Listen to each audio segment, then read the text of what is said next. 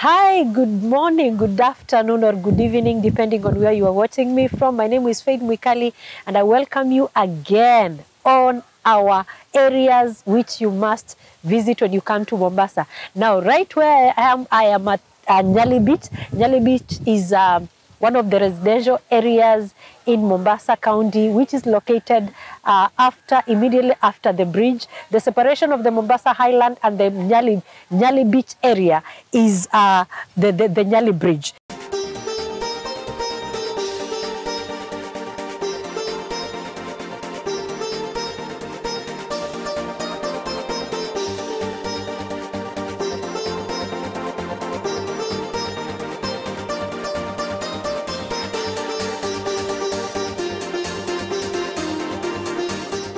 So Nyali Beach is known as a high potential tourist area with calm waters, white sandy beaches, and classy accommodation places where you can come and get your accommodation. We have the beaches where you can come and chill out in the afternoon, in the morning, or in the evening. The Nyali Beach is known for morning runs. You will come here and find many people doing their morning runs. It's an area whereby you'll find people doing their other games like football, netball. When they pitch in this place, it's a beautiful area for you to visit. Now, Nyali Beach area has many other interesting areas where you can visit. We have the malls, we have the Mamba Village, we have um, very beautiful restaurants which do fish and uh, seawater foods.